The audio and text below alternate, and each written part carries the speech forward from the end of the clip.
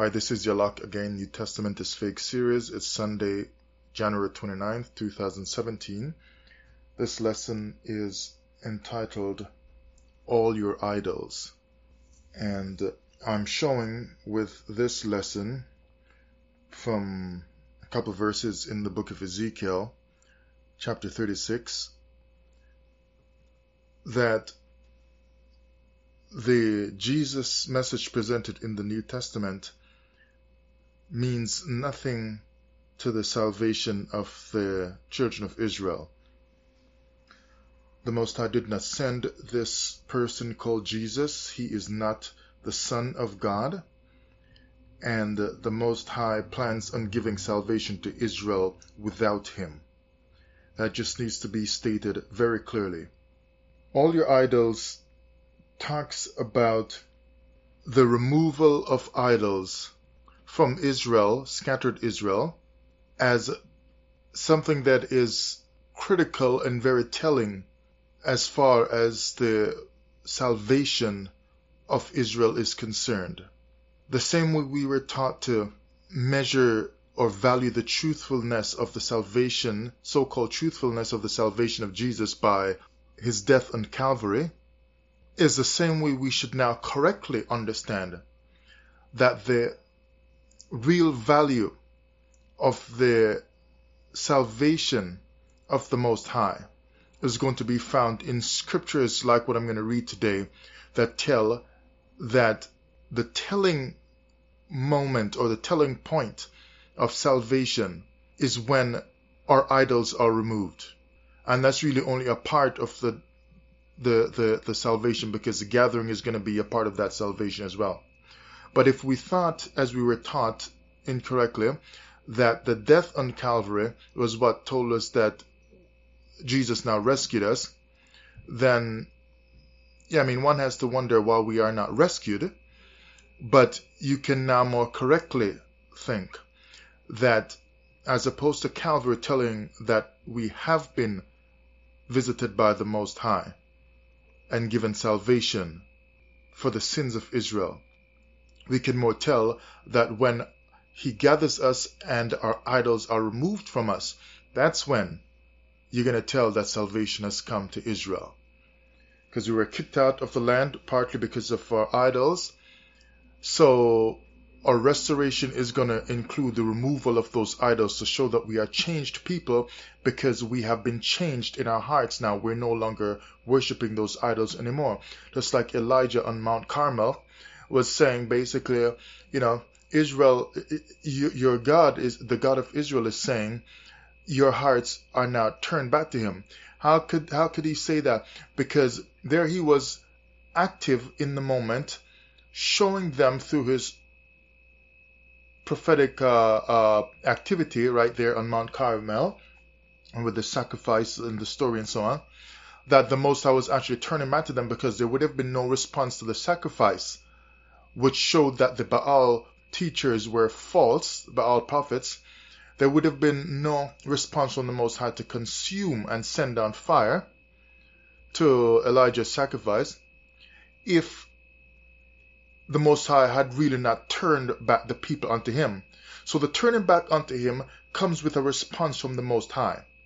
There was no response from the Most High that did anything to Israelites in Jerusalem because you can't count speaking in tongues on the day of Pentecost as the Most High turning to us because right after that they were slaughtered. Not too long after that i should say right? So th- th- that's not good.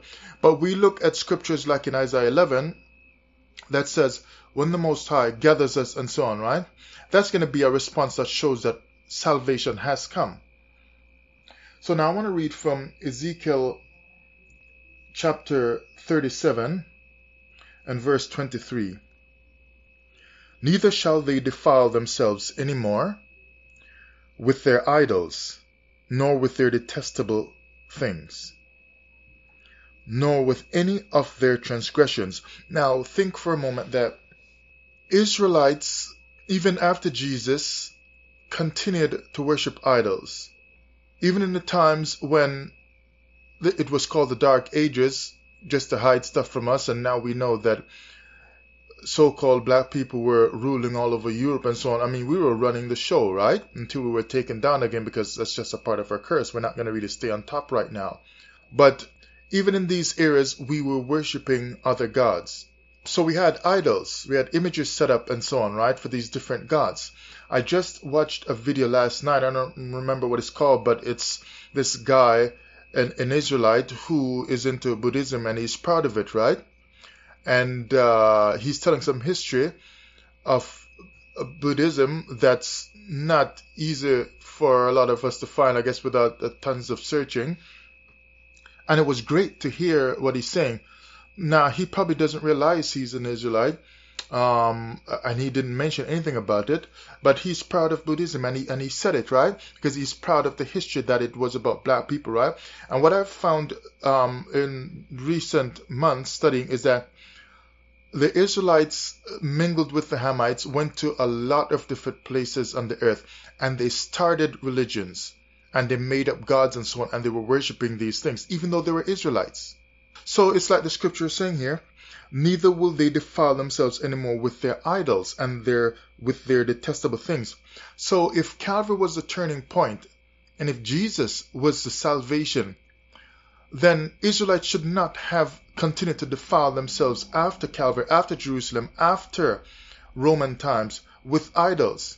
But yet we continued even into the so-called dark ages and even in today, we're worshiping idols. Some are into worshiping Buddha, some are into Buddhism, Hinduism, and all these different religions, right? Some are in Christianity, some are worshiping a rock in Islam and so on. We're still doing it. But the scriptures clearly teach that when Israel is restored and receives salvation, which is salvation from the nations, right? Who are oppressing us, like in the book of Judges, they will stop these things. So if Jesus came and gave us salvation, why did we not stop these things? And why did we continue to be, um, to, to live like we don't know our identity, as in Jeremiah 17:4, right? Which I call the syndrome 174, because that's just some serious problem that we suffer from. But it goes on here in Ezekiel 37:23. They won't detest, um, be detestable anymore with these things, these idols and so on, nor with any of their transgressions. And we continue to do these transgressions after Jesus' salvation. So if he was the Son of God and he gave us the salvation of the Father, why did we continue in transgressions? Why we still continue eating pork and all these things, right? When when the scriptures clearly tell us that the, the Most High told his prophets to prophesy that when Israel receives salvation, the next time Israel receives salvation from me, because you'd given them lots of salvation in the book of Judges, but the next time they receive salvation from me, they will not be living in transgression anymore. But Israelites are living in transgressions even today, in different ways, not just with idols, right? A lot of Israelites don't even keep the Sabbath, don't care about it, right? And we stop them on the street trying to talk to them and so on. They don't even care. Some of them cuss us out. But we will not uh, nor with any of their transgressions, but I will save them out of all their dwelling places. Right? All the dwelling places. Like I said, we were all over Europe, all over the Americas, everywhere we were, right? In all the dwelling places, I will save them out of those places where they have sinned because we traveled the world over and we were sinning, sinning, sinning and worshiping our idols and participating in different religions and some of them we started right? In all these different dwelling places that we lived. Dwelling places here means the places that you lived plus the places where you were worshiping your God, your, your temples, your houses of worship, and so on, right? I will save them out of all of that. But after Calvary, Israelites still continued. So that was not the salvation the Most High spoke of. Someone gave us a trick with the New Testament Jesus and the New Testament Gospels and Epistles because it doesn't the New Testament story with Jesus does not produce an Israelite that no longer lives in transgression. But the salvation from the Old Testament, when it does happen, will produce restored Israelites that will live without transgressing anymore. Our hearts will be changed so that we don't want to ignore the Sabbath anymore. We don't want these false idols because we've lived in, in punishment and seen that these idols we were worshipping from the nation's gods did not do us any good. We were worshiping Buddha, we were worshiping Jesus, we were worshiping a stone, we were worshiping everything else. We were worshiping snakes, we were worshiping all kinds of things, but they did not give us any benefit. We were we continued to be oppressed in spite. of worshiping all these different gods and all these different religions and all these different dwelling places or lands. Which means that the gods that we were worshiping along with our oppressors did not do anything for us, but it did something for our oppressors, right? It unified them to oppressing us more and gave them more and more power over us and, and gave them more and more agreement to like to say like well as long as they remain dumb and ignorant of the whole thing and we unify ourselves with our religions and with our gods we are one by us unifying ourselves on these terms with our gods and with our money and with our whatever right? So as long as we remain unified based on these things these gods work for us but it just doesn't work for them. So we'll keep them in the dark continually and whatever. But now the Most High is waking up His people by having us one by one starting to rise up and speak and teach these things so that we can consider um, this whole thing with some more clarity. So I will save them out of all their dwelling places wherein they have sinned and will cleanse them. So the cleansing does not come at Calvary. It doesn't come from the Holy Ghost outpouring um, it doesn't come at that point when 3,000 souls were added in the book of uh, Acts. It doesn't come from Jesus' death on Calvary. Cleansing does not come from what happened in the New Testament. Cleansing comes when the Most High says, I'm going to gather them out of these lands and they will put away all their stuff. I will change their hearts and so on. And I will cleanse them in all the dwelling places wherein they have sinned and will cleanse them. And so shall they be my people and I will be their power. Right? So that's how it happens. Now, look at some of the different places that we've gone to, um, you know, and some of the gods we've worshipped, right? When it says their detestable things that they did and the idols they worshipped in all their dwelling places. When we ruled different places and they never told us it was Israelites ruling these places, right? Mayan gods we had, Indian gods, Chinese dragons, Ethiopian gods, Egyptian gods. All these gods we, we, we've, we've worshipped in all these different places we've been and more and more places, right? Because every now and then you hear somebody doing some research and they realize, hey, these people, this group was Israelites, this group over there was Israelites, this, and what the trick has happened uh, that has happened is that conquerors came and conquered us and killed our people and set up their own people in those same dwelling places to take on those same names and call themselves the Mayans or call themselves this and the that, right? Uh, and so and so they took on our names. And now when you look, all these artifacts are uh, uh, and different things that they found just point only to those new people who conquered us, but they're not telling you that there were Israelites there before. And of course, sometimes we know they were mingled with Hamites because we seem to travel around with them so much. Um, but at least we were there in these places, right? So these are just telling you some of the places that we've been to where we were worshiping other gods. But the Most High saying when salvation comes, you are not going to be doing this anymore. Ezekiel chapter 36, verse 25. Ezekiel 36 and 25. Actually, let me read 24. Um, no, I'll read 23 to 20, maybe 25 or 26.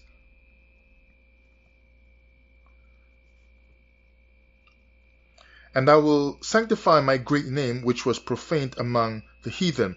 So basically, if you read the, the first part of the chapter, is telling you that basically when salvation comes, some changes are going to happen which are listed in this chapter.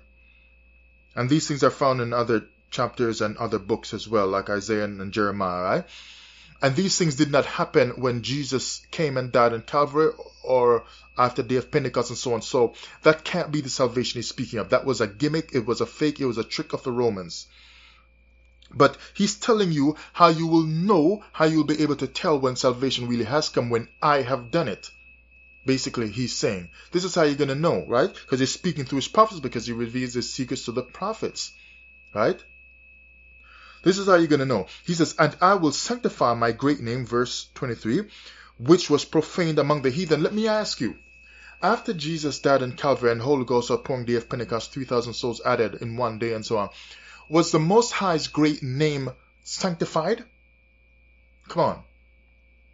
Was his great name sanctified? We still got people today. You see, when his great name is sanctified, everybody's going to know what his name is. Some of us are arguing over is it Yah, is it Yahuwah, is it um, uh, Ahaya, is it Haya, whatever. You know, I thought all those names myself when I just came into this, right? I've bounced back and forth from all these names and wondering. One time it got so complicated, so difficult. I'm just like, I'm just gonna take the nicer sounding one. Does Yahuwah sound better than Ahaya? yeah, I know you might laugh, but that's what it came down to me at some point. But I want the nicer sounding one. Does Yah sound better than Yahuwah? What if I say Yahweh? Does that sound better? Which one is easier to pronounce, easier to say? Uh, stuff like that I went to because it just got so complicated. But when the Most High actually um, clears up the whole issue with his name as a part of the gathering and sanctifies his great name, he says, people aren't going to be wondering anymore. Certainly, Israelites will not be wondering because it's going to become clear, right? It's going to become clear. Now, now the, the, the best I see is is Haya, right?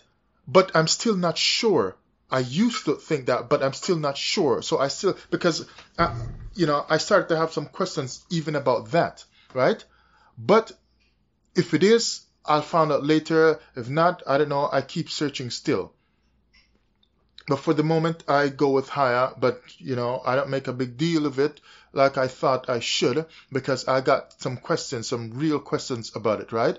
I found this guy. I just cannot find him again. He said lots of stones were found and kept secret, I guess, in places in Africa with the name Haya on it. But I never saved the video at the time, and now it's like it's been like over two years, and I cannot find the guy, this video anymore. It was on YouTube. I just can't. And I just like, man, I was just tired at the time I didn't save it. I figured it would be such an easy thing to find because not many people um, would have made a video like that. I figured, you know, but it's I just can't seem to find it. So I wish I could find it and see, you know, he didn't tell where the stones were found. I wish he would have given the locations and who is holding them, information about it, you know, so that, but at least if I find his video again, then I could contact him and say, do you have any more information about this? Where can I find some, you know, but whatever. But at least he's saying, I will sanctify my great name. Now, after Jesus' death on Calvary, his great name was not sanctified. The Most High's great name was not sanctified. And I've told you before in another video, if the Most High kicked out the children of Israel out of the land for different transgressions, including profaning his name, then they left the land with a broken name, might I say, a profaned name. They never fixed the name issue. So how is it now that we're going to accept from our captors that his name is Yahweh or Yah or, or so on, right? How are we going to accept that? I, I just don't know. And I'm, I just don't know. I just have questions, right? So if the Israelites knew the name but messed it up intentionally, and they were kicked out and they never fixed it in the scrolls um, before they left, then since we have not returned, who fixed the name? You mean the heathen fix the name, the power name that's going to redeem us, that if we call in that name, things happen, and they're just going to fix the name and give us, knowing that the name takes us closer to being delivered? No. That's why I have a problem with the names, right? That are bouncing around. But anyway, he says, when he fixes his name, that's when our salvation comes, right? That's a part of the whole package of salvation. And so if people are still fighting over the name, that means the name issue has not been fixed yet. It has not been solved. I just found someone with a book um, with the names of God, and they got a ton load of new names and new ways to, to say the name and, and all the variants of the name and whatever, how it should be pronounced and so on. This Jehovah name and Jehovah Yahweh and whatever, right? Names that I never saw before. So obviously people are still still writing books about it, right? Because everybody's trying to figure it out. So it's not been fixed. So that means we have not received salvation yet. So Calvary salvation is fake. Because when he gathers us and, and, gives us salvation, the name issue will be fixed. You're telling me after 2,000 years that Christ has died, the name can't be fixed? Come on profane among the heathen, which ye have profaned in the midst of them, and the heathen shall know that I am the Most High. Do the heathen know that He is the Most High? Do the heathen know that He is our God? No, they don't. Yeah, the world elite leaders who are running the world and keeping us oppressed and so on, they know it and they're hiding it from us, but the heathen in general, their peoples, don't know it.